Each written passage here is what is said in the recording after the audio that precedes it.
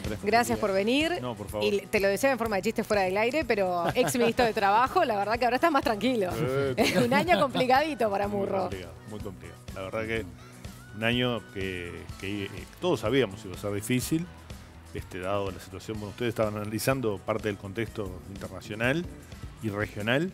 Este, yo creo que el elemento nuevo es este, nuevo, me refiero a los últimos meses, ¿no? Es la situación de Brasil, donde este, todos esperábamos un, el endurecimiento, el crecimiento y no esta crisis, eh, que, que desde el punto de vista económico se le suma además este, una crisis política este, que realmente impacta sobre la actividad económica también, ¿no? ¿Qué tan complicado es para un gobernante del Frente Amplio recibir estas críticas de los sindicatos, justamente, que han llamado a votar por el Frente Amplio? Este, bueno, yo creo que es este, doblemente complejo, ¿no? Este, eh, me imagino que desde el punto de vista este, personal también, este, a quien ha tenido una trayectoria de militancia, como la hemos tenido muchos, ¿no?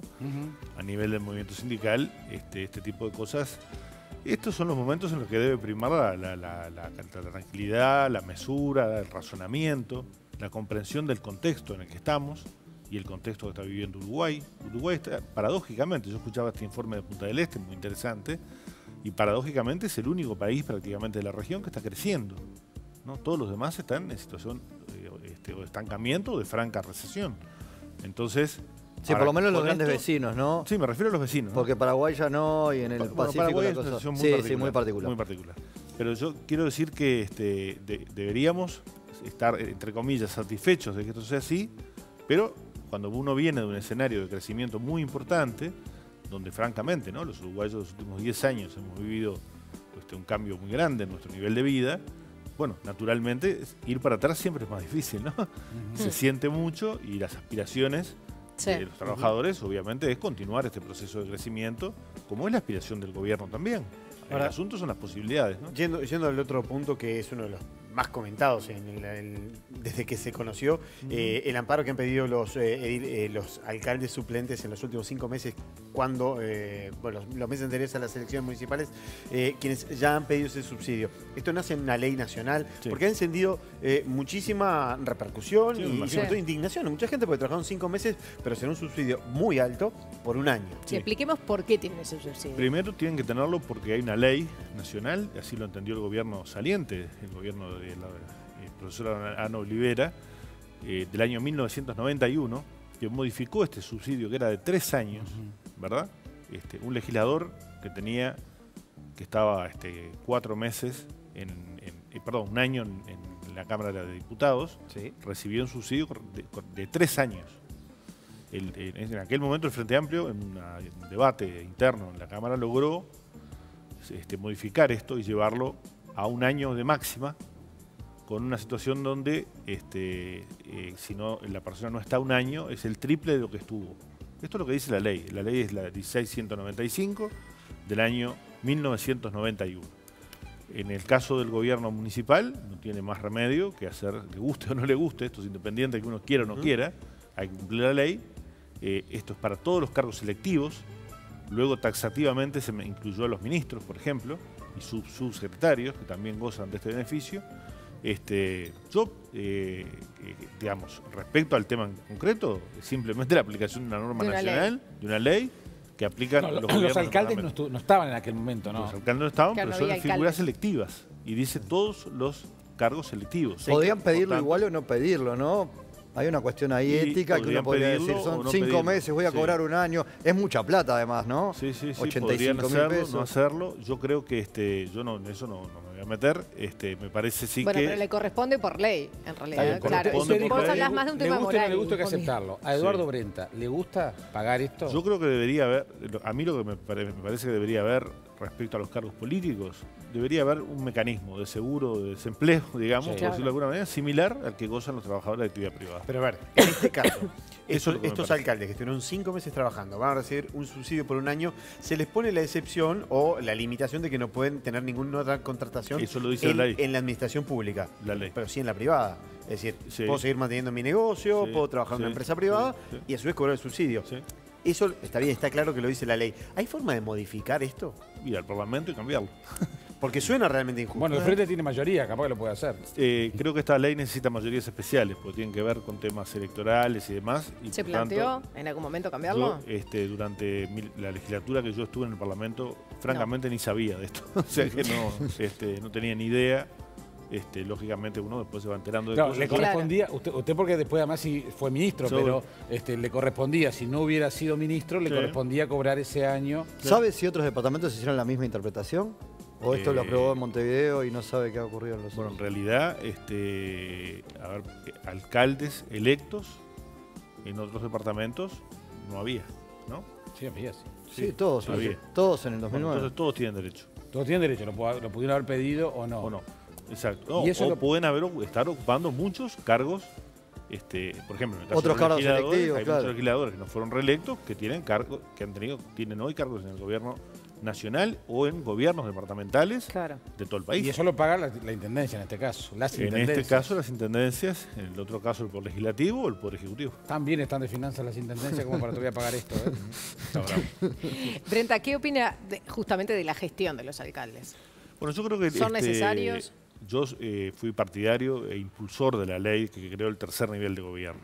Y creo que en esto hay dos realidades muy distintas, ¿no? Una realidad montevideana y una realidad del resto del país. En el resto del país la figura de los alcaldes se han ido consolidando, este, se han transformado en la referencia inmediata del ciudadano. Este, la identidad local es mucho más fuerte, ¿no? Claro. No, no es lo mismo ser el alcalde de Juan Lacase que el alcalde del municipio CH.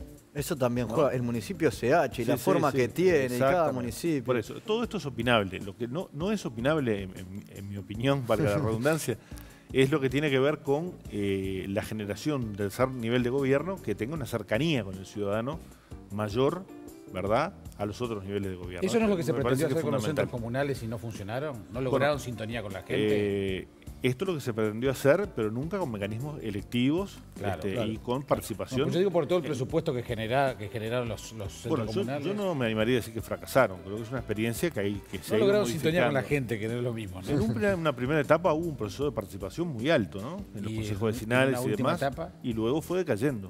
Este, quizá este, fue decayendo como ha venido decayendo la participación, este, o ha adquirido formas diferentes, ¿no? Porque a veces uno parte de la, la premisa de que no hay interés en algunos temas, ¿no? O que no hay interés de la gente en la política, por ejemplo. Sin embargo, este, la gente se expresa. Lo que pasa es que se expresa de mecanismos muy diversos, formas muy distintas. La introducción de nuevas tecnologías, veníamos conversando de esto, este, genera obviamente este, formas nuevas de participación. Claro. Yo creo que hay gente- interés y participación de los uruguayos. Los uruguayos son personas en a- términos generales interés de participación, pero cuando viene el presupuesto participativo participan muy pocos. Muy pocos, porque se desconoce el mecanismo, Claro. este, porque muchas veces se ha generado también este, intereses puntuales de determinados eh, que- Colectivos. clu- colectivos, claro, equipos Sí. de fútbol, equipos de básquetbol, entonces ahí sí hay una un incentivo de logremos que salga la obra nuestra, digamos, capaz que no es la más importante para el barrio, o la propuesta de, que yo creo que habría que revisar, de, eh, cuestiones vinculadas al tránsito, ¿no? Yo no puedo definir que quiero un semáforo en la esquina de mi Sí. casa. ¿verdad? Tiene que ser un ingeniero en Tiene que tránsito. ver, claro. Claro, Ahora, pero, yo, pero, yo, pero yo quiero que los deliveries no, no me anden por la vereda de mi casa, Sí. o que no anden contra fleches, sin embargo la Intendencia eso no lo controla.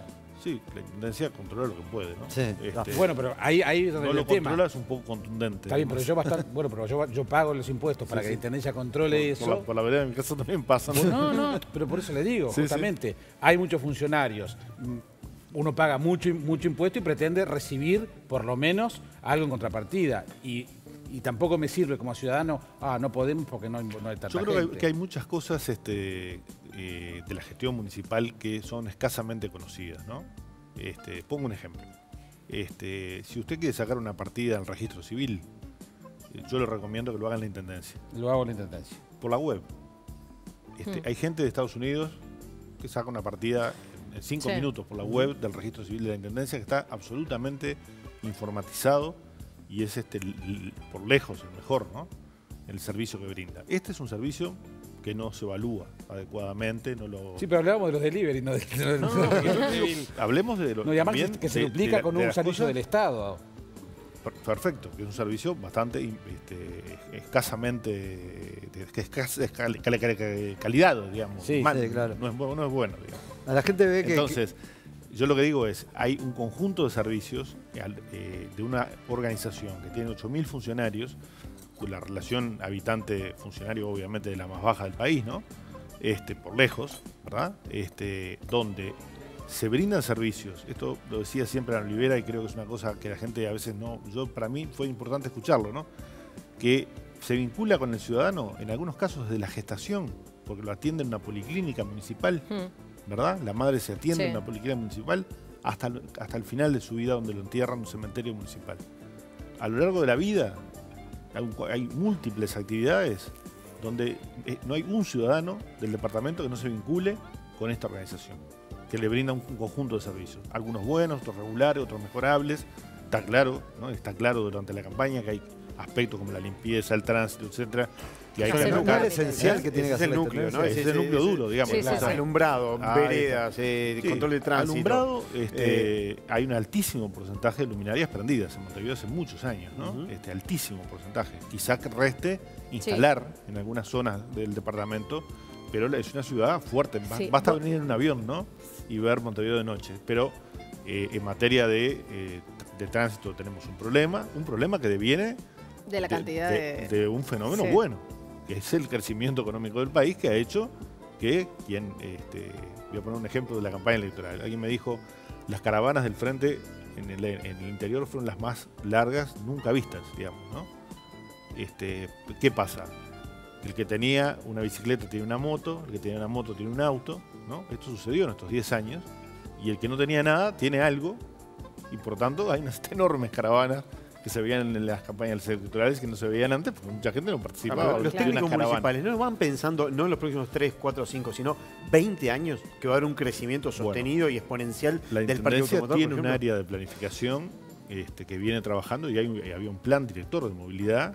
Yo creo que esto, este, yo no soy un, un experto en este tema, obviamente, este, pero me parece que este, la realidad y el crecimiento económico, crecimos nosotros a tasas chinas en algún momento, ¿no? Del 6-7%, Ah. fue tan grande y tan rápido que en realidad este, la posibilidad de dar respuesta, y sobre todo en aspectos de infraestructura, ¿no? que son difíciles de abordar y, y muy caros en momentos de, de máxima exigencia en la industria de la construcción también, ¿no? Sí. este, la respuesta este, obviamente no, no, no, no fue al tiempo en que el crecimiento de la- de la- del país este, no acompañó ese crecimiento y era muy difícil que lo hiciera, en mi opinión. ¿no? Bien. Brenda, Pero- el fin sí. de semana, perdón, le cambio de tema. Llamó la atención la catarata de tweets y que tienen que ver con el consumo, con el control de precios de las multinacionales. Y a raíz de eso, además, recibió muchísimos comentarios. Y hoy en El Observador leí una aclaración y dicen que es por un estudio para estudiantes. No, eh, pasa lo Por siguiente. un ca- trabajo para estudiantes. El- en realidad este, hubo las dos cosas. ¿no? Desde hace bastante tiempo nosotros hemos venido planteando un tema que en su momento lo hicimos en el Parlamento, lo fue tomado por la Comisión de Defensa de la Competencia, que tiene que ver con los altos niveles de concentración existentes en algunos mercados que hacen que algunas empresas, fundamentalmente multinacionales, que se importan de la región sus productos, fundamentalmente en el área, yo lo planteé, en el área de este, los productos de higiene, este, tienen eh, un margen de ganancia este, muy importante, por lo menos por lo que declaran a la aduana, de los, por los costos de ingreso de ese producto, cuánto cuestan. por- si estamos en- en hablando de algo que sale 11 pesos medio y se dólar, vende ahí en está. 120. Exactamente. Quiere decir que este fue el planteo que hicimos. La comisión hizo un estudio muy importante donde llegó a la conclusión que en algunos casos hay 97% de concentración. Quiere decir que de un producto este, se produce este, este porcentaje y lo que yo entiendo por lo menos es que hay este, un abuso en este, en este aspecto, ¿verdad? Este, en lo que tiene que ver con la fijación de estos precios. O sea que los tweets corresponden a lo que usted piensa. Exacto, Sí. corresponde a lo que fue publicado, este, inclusive por estudios de, de estudiantes de ciencias de la comunicación y de ciencias económicas realizados a partir de este debate que se generó y que fueron publicados prácticamente por toda la prensa, por todos los semanarios y diarios del Uruguay. A raíz de esto, este, como surgió una reacción este, muy fuerte, Es lo que tienen las redes. y, y yo estaba en, en mi casa, había estudiantes que tra- trabajan en temas de comunicación. Dijimos, bueno, hagamos una apuesta a ver qué reacción se produce si proponemos este, que el Estado tenga una fábrica de pasta dental. Sí, habló el fondo. ¿no? Sí, y La pasta del Pepe. Fondes, la pasta, La pasta del del Pepe, Pepe. algo así, ¿no? Y esto provocó una reacción aún Este, yo ¿Y diría... ¿Usted está convencido de que está bien que el Estado fabrique? No, no, no. como en su momento se acuerda que No, eh, yo lo que creo que... Coutinho había planteado, ¿se acuerda una carnicería municipal? Sí, sí, claro, sí, sí, una panadería. Una panadería también. Sí, sí, panadería. Bueno, de hecho, la empresa de transporte de Salto es municipal. Este, es- no sé si aún en Cerro Largo existe un frigorífico municipal, ¿eh? Ah, pero Este- usted estaba en su casa con estudiantes y Que y supongo le que dijeron, son sus "Va- Vamos hijos, a probar ¿qué?". a ver qué pasa. Entre Eh, claro. Vamos a ver cuál es la reacción para medir, para sondear un poco la opinión. Sí, a ver que eh, eh, lo, lo que sorprendió fue los niveles de, de- Yo creo que esto es parte de, de una cuestión que tenemos que, que- que conversar entre los ciudadanos, ¿no? Eh, uno puede responder este, en contra de Sí, le una respondí con opinión, agresividad, pero no insultar. ¿Y usted no cree que está co- condicionando a su fuerza política? Usted es un dirigente importante Sí. de- de- del Frente Amplio, condicionando a la fuerza política de alguna manera a plantear estos temas como, Ah, yo como creo control? que estos temas hay que plantearlos, porque en ¿Cree realidad... el Frente debería discutir, por ejemplo, el control de precios? No, no, no. Yo la- fran- digo con franqueza, este, el mecanismo para resolver este problema no sé cuál es. Es difícil el abordaje de mercados altamente concentrados, pero hay normas legales en algunos países, en Estados Unidos claramente, que establecen limitantes a las fusiones, por ejemplo. Claro, usted se refirió ¿No? en un momento por eso a la pasta del Pepe y es lo que tiene que ver con la salud bucal, ¿no? Y lo importante que es cuidarse la dentadura con una buena pasta y se refería a los precios. Sí, Ahí no, hay, no hay nada que se pueda hacer. Inclusive, bueno, eh, eh, en, en programas de salud bucal, sí, podrían hacerse, podrían adoptarse políticas donde el Estado, por ejemplo, eh, les provea a determinados sectores de la población ¿no? de, de un producto a, a- a menor precio, importándolo. Yo, qué sé, no sé, yo no quiero meterme en la solución. Lo que quiero advertir Es plantear es ese que, que la gente tiene un problema, ¿no? Este, que ubica eh, a veces estas cosas en, lugar- en el lugar equivocado. Cree que es el almacenero, cree que son los impuestos, o cree que es otra cosa. No, no. Este, acá lo que hay es sectores en los cuales la altísima Bien. concentración del mercado genera ganancias exorbitantes. Muy bien. Eduardo Brenta, muchísimas gracias, Gracias por por venir, Con acompañarnos. mucho gusto, ¿eh? muy amable. 54 minutos pasan de las